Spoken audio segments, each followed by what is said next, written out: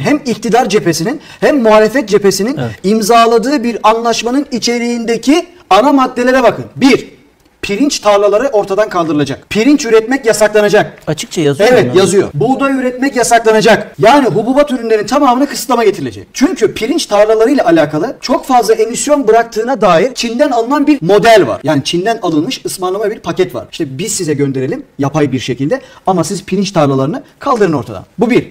İki, avokado bahçelerine son verilecek. Yani muz, avokado gibi ürünlere kısıtlama getirilecek. Büyükbaş hayvancılığı büyük bir oranda azaltılacak. Bugün sürdürülebilirlik adı altında bizlere dayatılacak olan bütün hususlar iklimle başlıyor. Dijital para, Paris İklim Anlaşması'na uyumlu şehirler, akıllı şehirler projeleri ve nakitsiz toplum. Türkiye Büyük Millet Meclisi'nde onaylanan Paris İklim Anlaşması'nda hayvancılığın yasaklanması var. Pirinç tarlalarının yasaklanması var. Yapay ete geçilmesi var. Fosil yakıtların azaltılması var. Sera gazı emisyonlarının azaltılması var. Şimdi Paris İklim Anlaşması'nı onaylayabilmeleri ve uygulayabilmeleri için de bir kanuna ihtiyaç var.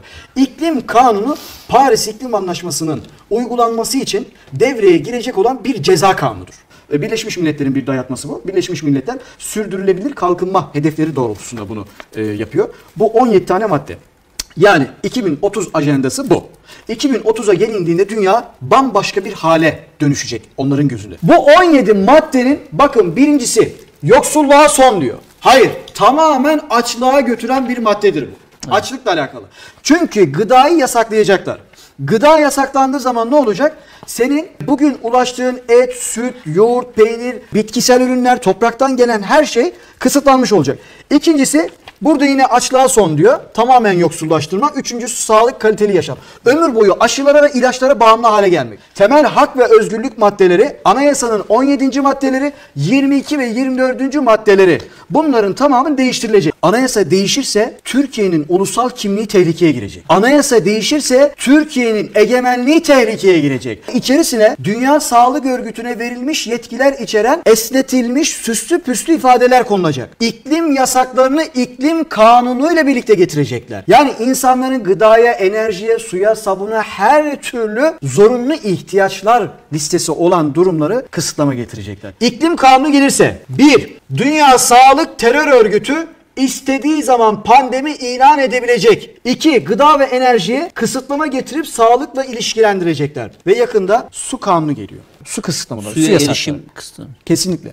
Paris İklim Anlaşması iklim kanunu değil. Paris İklim Anlaşması'nın uygulanması için cezai müeyyide içeren bir kanun. Meclise gir- Birbirine bağlı. Bu Bağlı. Ekim ayında yürürlüğe girdi. Paris İklim Anlaşması'nın uygulanması için de iklim kanunu çıkaracaklar. Tamam. Yani iklim kanunu ceza için kullanılacak. Ha, şimdi Sizin oturdu. uygulamalara, bunları istemiş oldukları istek ve taleplere uymadığınız takdirde sizi ceza kesebilecek bu kanunlar. Hayvanınız- Hayvanlarınızı yasaklayabilecek, buğdayınızı yasaklayabilecek, nefes almanızı yasaklayabilecek, yatak odanıza girmenizi yasaklayacak, çocukların parklara çıkmasını yasaklayacak, Dünya Sağlık Terör Örgütü'ne yetkiler içeren hususlar anayasanın içerisine sokulacak. Bakın TÜSİAD'ın geçen yıl hazırlamış olduğu anayasa değişikliği raporuna baktınız mı? Egemenliğin gerektiğinde devredilmesiyle alakalı hususlar var.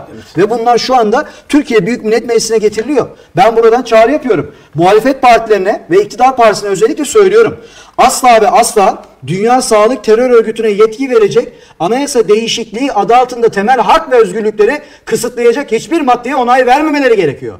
Eğer bu madde onaylanırsa onların çocukları, akrabaları, komşuları, yakınları, kedileri, köpekleri her şeyi ama her şeyi tehlike altına girecek. Döneminde ülkemizin hiçbir tarihinde böyle saçma sapan yetkiler verilmemiştir. Böyle gereksiz kanunlar çıkarılmamıştır. Elbette kanun çıkarılır ama sen doğayı korumak için çıkarırsın. Ormanları korumak için çıkarırsın. Ormanlar bugün katlediliyor. İmara açılıyor. Evet. Her türlü israf yapılıyor. Bize karbon gazı diyenler kendileri karbon bırakıyor. Bize karbon ayak izi diyenler kendileri karbon salarak toplantılara gidiyorlar. Bize karbon ayak izi diyenler Gazze'deki bombalara, Gazze'deki silahlara seslerini Tonlarca çıkaramıyorlar. bombaya, E, evet. o ga- karbon gazı değil mi? Ve Türkiye dahil 197 ülke Birleşmiş Milletler'e bağlı bu yasaları, bu kanunları kabul ederse ortada ne siyaset kalacak, ne siyasi bir kitle kalacak, ne bir seçmen kalacak, ne de bağımsız bir insan anlayışı kalacak. Allah'ın insanlara verdiği özgürlüğe ipotek koymak istiyorlar. Karbon yasaklarını insanlar sadece hayvan olarak algılamamalı. Fosil yakıt olarak algılamamalı. Benzin olarak algılamamalı.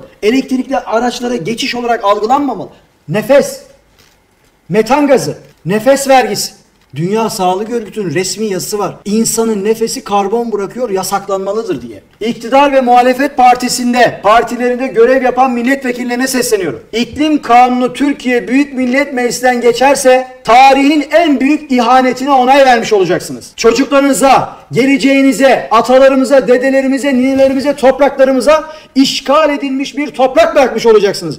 Bunun farkına varın. Dünya Sağlık Terör Örgütü'nün Mayıs ayında yapacağı toplantıya Sağlık Bakanlığı imza atmamalı.